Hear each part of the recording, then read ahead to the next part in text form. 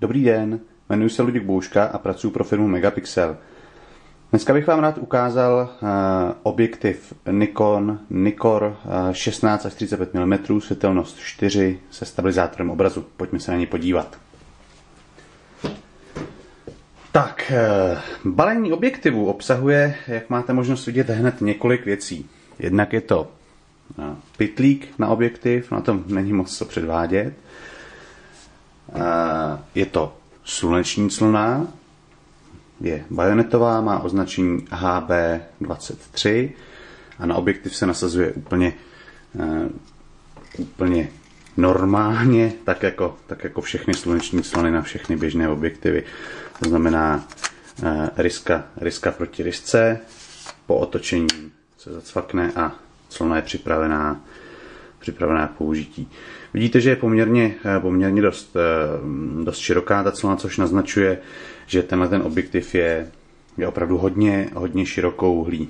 Tak, eh, clonu sundáme a jdeme se kouknout na vlastní objektiv.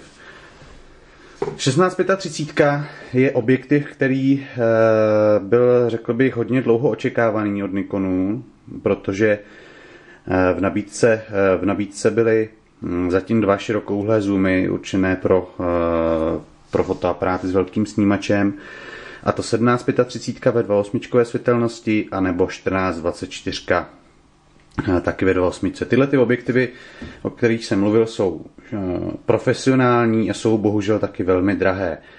Eh, Tahle 1635 má světelnost 4, což by mělo být vidět tady, myslím, že to možná uvidíte. A tím pádem, eh, tím pádem je ten objektiv eh, samozřejmě levnější, ale také, také lehčí, což je, hm, což je určitě velké plus.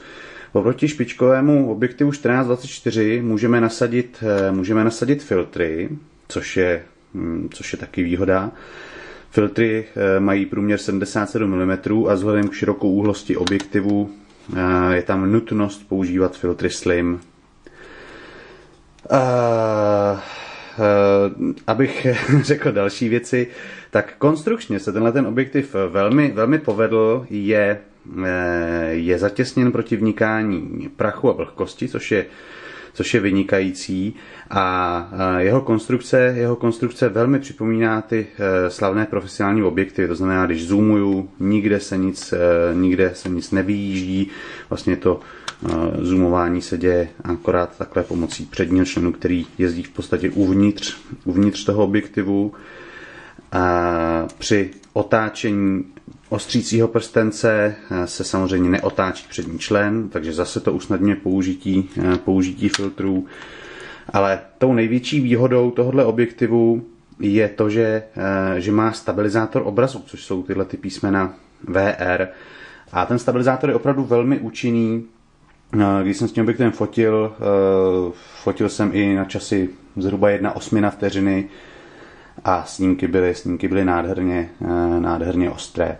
Stabilizátor obrazu je samozřejmě možno vypnout pomocí tohoto přepínače, například když fotíme na stativu, tak eh, je to určitě dobrá volba.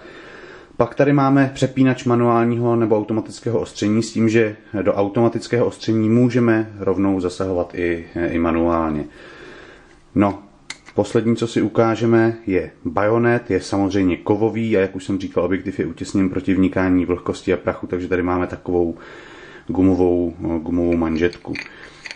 Objektiv 1635 je prostě ideální, ideální a cenově dostupnou variantou například pro fotoaparát eh, Nikon D700 nebo, eh, nebo D3, prostě pro všechny full frameové hm, neboli FX snímače, Eh, od společnosti Nikon. A jeho velkou výhodu, jak už jsem, znova, jak už jsem před chvilkou říkal, je tedy stabilizátor obrazu a především eh, velmi, velmi dobrá cena. Eh, zmínil jsem se zde o filtrech, tak filtry, stejně jako veškeré další příslušenství, najdete na našich webových stránkách www.megapixel.cz.